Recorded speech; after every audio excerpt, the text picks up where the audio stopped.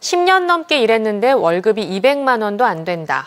강원도 교육청 앞에서 천막 농성을 벌이고 있는 학교 비정규직 노조원들 얘기입니다.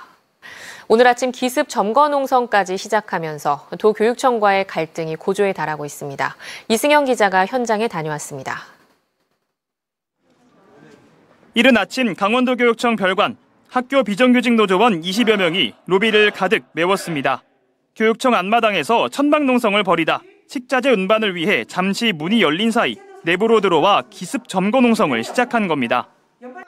이들 대다수는 근속수당 도입을 요구하며 이틀 전부터 무기한 파업에 들어간 초등학교 강사들. 근속수당을 지급하라! 지급하라! 지급하라! 지급하라! 주제! 이로 인해 노사본목과 등 별관 직원들은 출근을 하지 못해 재택근무로 업무 공백을 메웠습니다. 노조원들은 협의가 지지부진한 상황에서 도교육청이 내년 1월 정기 인사에서 노사본목과 직원들을 교체하자 반발 수위를 높이고 있습니다. 이제 이분들이 이제 인사 발령이 나면서 이제 업무 인수인계하고 한다고 보수고 못하겠다고 이제 이야기를 하셔서 저희는 부득이하게 이제 노사본목과에 정근홍성을 하게 됐습니다. 천막농성이 시작된 지 58일째. 교육청 직원들은 돌아가며 출입문을 지키고 있고 노조원들도 번갈아가며 천막을 지키는 상황이 반복되고 있습니다.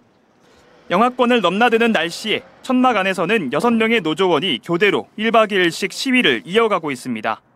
학교 강사들이 이렇게 파업에 나선 건 200만 원도 안 되는 월급이 가장 큰 이유입니다.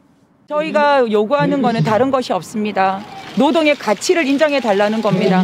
1년 차와 14년 차가 월급이 같다면 아마 사람들은 깜짝 놀랄 것입니다. 일한 만큼의 가치를 달라고 하는 것이 저의 요구입니다. 강원도 교육청은 노사 담당 직원들이 바뀌어도 협상에는 문제가 없다고 밝혔지만 근속 수당 요구에는 신중한 입장입니다. 7개 시도교육청이 공통으로 지금 그 노동조합 측하고 임금 협상 중에 있는 상황입니다. 이건 강원도 자체가 아니라 그 같이 조합도 마찬가지고 저희도 마찬가지로 같이 하고 있는 상황이기 때문에 이 부분을 강원도 자체적으로 풀어가긴 어려움이 있습니다. 학교 강사에 이어 다음 주 월요일에는 교무행정사들이 릴레이 파업에 들어갑니다. 도교육청은 파업에 따른 공백을 최소화하고 노조원들과 협상을 진행하겠다고 밝혔지만 이대로라면 해결이 언제 될지 교육 현장의 혼란이 계속되고 있습니다. MBC 뉴스 이승현입니다.